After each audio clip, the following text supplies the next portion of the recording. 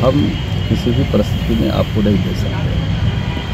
अगर देश में अगर एक एम पी असत्य का सबसे ज़्यादा उपयोग करने वाला है, उसका नाम नरेंद्र मोदी है। उनके क्षेत्र से ही जब सरकार धमका करके इन शोषण के लोगों को फ़ील्ड नहीं देगी, मैदान नहीं देगी तो किसानों के खेत में सभा करेंगे। नमस्कार, मैं हूँ अंजलि यादव। आप देख रहे हैं एक न्यूज़ 24 उत्तर प्रदेश के वाराणसी में मुख्यमंत्री नीतीश कुमार की होने वाली रैली को स्थगित कर दिया गया। एसएमएस को लेकर बिहार के मंत्री और उत्तर प्रदेश जेडीयू प्रभारी श्रवण कुमार ने कहा कि जिस कॉलेज में हमारी रैली होने वाली थी, वहाँ के प्रशासन ने हमें मना कर दिया। उन्होंने कहा कि अगर हम आपको रैली की अनुमति देंगे तो हमारी मान्यताओं को रद्द कर दिया जाएगा। श्रवण कुमार ने क्या कुछ कहा, आइए जानते हैं इस वीडियो में। थी, वहाँ पर, मैदान नहीं मिल पाया। और मैदान इंटर कॉलेज की थी, रोहनिया इंटर कॉलेज है तो उन्होंने कहा कि भाई, हमारे ऊपर बहुत दबाव है।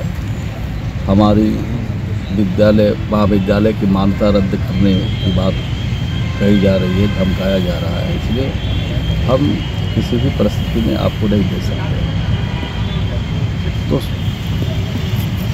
मीटिंग जो है रैली जो है स्थगित की गई है। और रैली के लिए वहाँ पर हमारे जितने पार्टी के लोग हैं वो सब गाँव गाँव में काम कर रहे हैं। लोगों को बता रहे हैं यहाँ की सरकार नहीं चाहती है कि नीतीश कुमार जी उत्तर प्रदेश में बनारस में आए।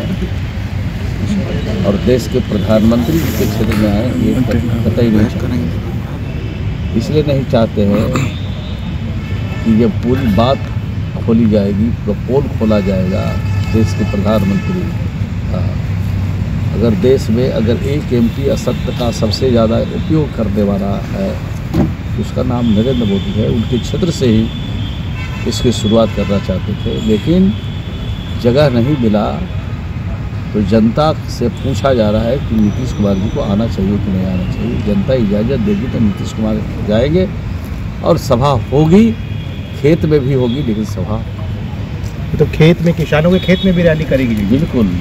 जब सरकार धमका करके इन शोषण के लोगों को फ़ील्ड नहीं देगी मैदान नहीं देगी तो किसानों के खेत में सभा करेंगे किसानों की राय इसीलिए ली जा रही है कि नीतीश कुमार जी को आना चाहिए कि नहीं आना चाहिए। जब आने के लिए इजाज़त मिलेगा तो सभा होगी। और सरकार अगर मैदान में नहीं करने देगी तो हम लोग खेत में भी करेंगे। अच्छा ऐसी भी खबर आ रही थी सर कि वहाँ यानी धमकी जब दिया जा रहा है तो कोई भी शोषण चलाने वाला आदमी कैसे दे सकता है?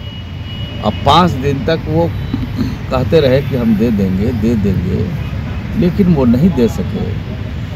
अब तो दूसरी भी धमकी उनको पड़ने वाला होगा कि आप आप कहिए कि हमारे पास कोई आया ही नहीं है, हमसे कोई मांगा ही नहीं है। तो हमने दो दो बैठकें ली है वहाँ बनारस में। एक तो स्थानीय जो ज़िला है, बनारस ज़िला उसके अलावे आसपास के ज़िले की एक बैठक की है। दूसरी बैठक राज्य के पदाधिकारियों का हमने लिया है।